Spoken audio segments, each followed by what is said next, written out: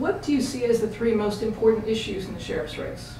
Um, I, I, think the, the three most important issues are uh, probably drugs and narcotics and the associated crimes that go with that trade, if you will. Um, then probably cyber and technology related crimes. Uh, and then lastly would be the growing gang situation, both in our community and in the communities that surround us. But you know, to further elaborate on each one of them, the uh, the narcotics that that's a problem that we're continuously striving to work at and get a grasp on. Uh, but you know, the as soon as you take one drug dealer down, another one steps into his shoes. Uh, so it's it's a continuing battle. We'll stay the course with the fight. Uh, our narcotics division is very aggressive. Plus, we have a street crimes unit that I would anticipate continuing and trying to add additional manpower to when revenue streams are present that could fund additional staff.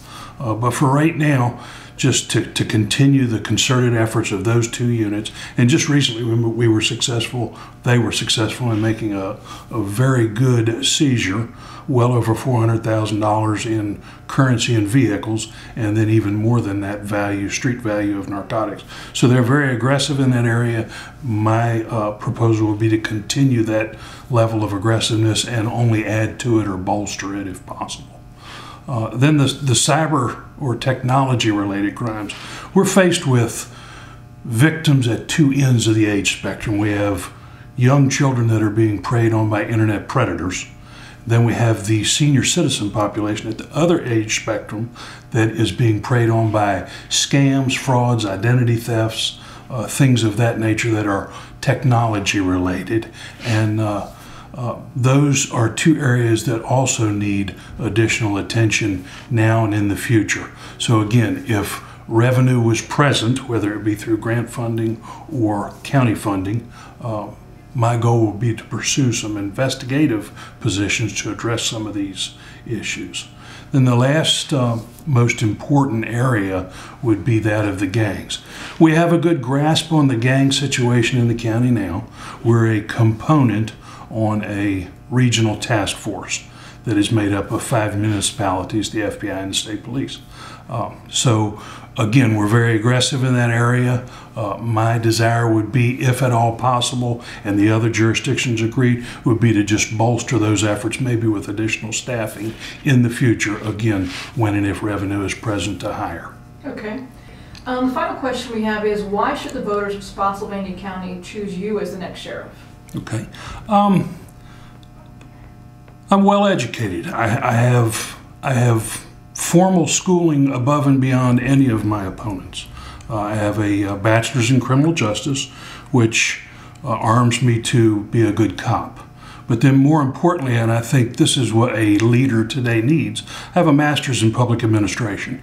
And I think that has equipped me to be able to, to navigate the, uh, the, the, intricate networks of bureaucracy in the government.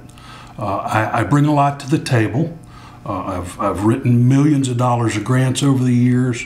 Uh, don't do that anymore, but I have that knowledge base to bring to the table. And it prompts me to always be looking for federal assistance whenever and, and, and wherever possible. There's a lot of money out there in both the federal government for uh, law enforcement and then the private sector.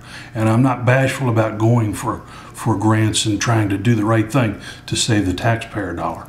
So I'm, I'm aggressive in those areas. But more importantly, I think I have the, I already have a, a, a well laid foundation and work rapport with the uh, elected Board of Supervisors and county administration that neither of my opponents have. I've worked time and time again with all of the county government and the board members, and uh, just just you know bring a lot to the table in that regard as well. Uh, a 23-year stellar career in law enforcement uh, also assists me. Uh, I know what it's like to be, uh, you know, a young deputy work in the street answering calls. I've worked my way up and held every rank in the department.